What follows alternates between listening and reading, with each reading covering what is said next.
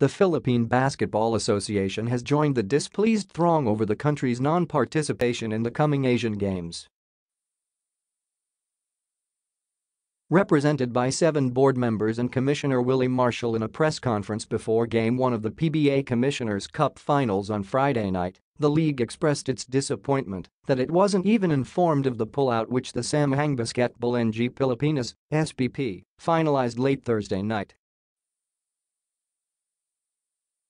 Marcial and Barangay Ginebra Governor Al Francis Chua agreed the PBA cannot suspend its tournaments to accommodate the Indonesia Asiad because the league would have to stop operations for two months.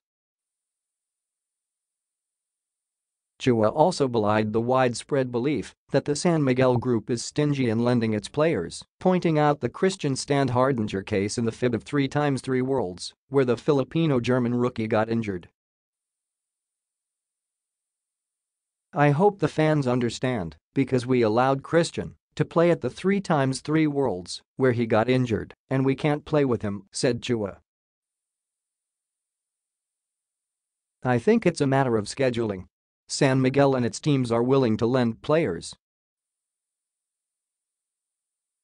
The board also stressed that in earlier talks, the SBP, through Gilas Pilipinas coach Chot Reyes, said it wasn't keen on sending PBA players to the Asiad because the cage body's preference was for a sustained participation in the FIBA World Cup 2019 Asian qualifiers